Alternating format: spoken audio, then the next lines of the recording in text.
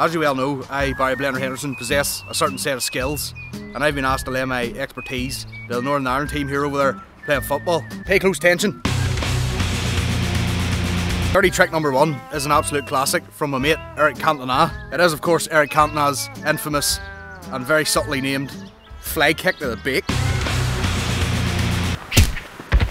Eric's kick, of course, was used on a member of the crowd, but you can also apply that kick to fellow players, you know, fellow rioters or whatever.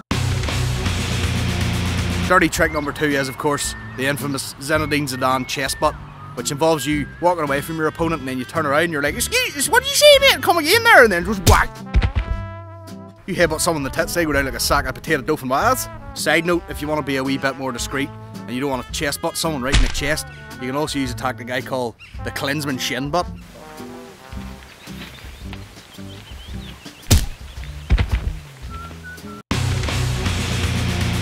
Finally, trick number three, not so much a tip, more just a bit of sound advice. I feel like if you're gonna get sent off and you've taken your opponent down and he's rolling about the floor, you're getting sent off anyway, so you may as well take full advantage of the sending off and just get fully wired into him. Make sure to stamp right in the baguette and two garlics. You know if he's on the floor getting his back, get him in some sort of choke or something like that, the camel clutch.